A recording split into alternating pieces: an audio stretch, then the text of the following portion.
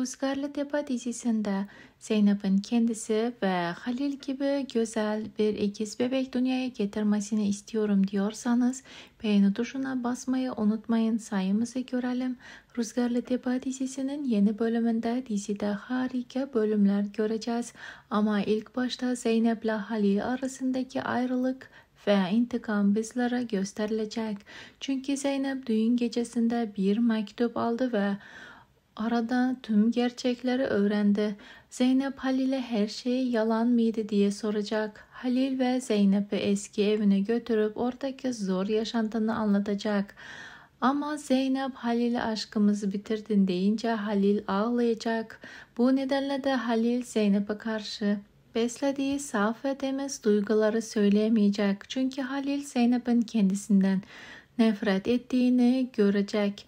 Halil'in kalbinde Zeynep'e karşı beslediği aşk itiraf edebilmesi için Zeynep'in onu affetmesi lazımdır. Ama Zeynep iki ay gibi bir süre boyunca Halil'i affetmeyecek ve onu sürüm sürüm süründürecek. Halil ve Divaneler gibi Zeynep'in arkasından koşacak. Hatta Zeynep Halil'den boşanmayı da planlayacak ama Zeynep sonrasında Zümrüt Hanım için bu kararından vazgeçecek. Halil ve Zeynep'in hayatında bazı bir değişiklikler olacak çünkü Zeynep iki aylık süreçte gerçeklerin peşine düşecek. Zeynep gerçeklerin peşine düştükçe geçen zamanın zorlu kapılarını araladıkça gerçek yüzünü ve Songül'ün gerçek yüzünü fark edecek. Zeynep bu gerçekleri öğrendiğinde birden kalbinde bir sızı hissedecek. Zeynep'in kalbindeki bu sızı Halil'e karşı duyduğu aşkın acısı olacak.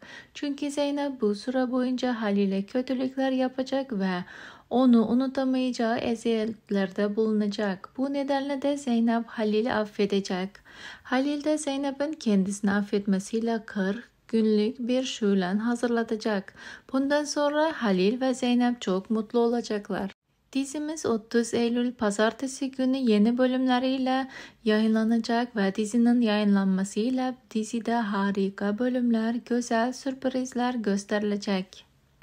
Rüzgarlı Tepe analizim ise şimdilik bu kadardı arkadaşlar. En kısa sürede yeni dizi analizleriyle karşınızda olacağım. Şimdilik hoşçakalın. Allah'a emanet olun.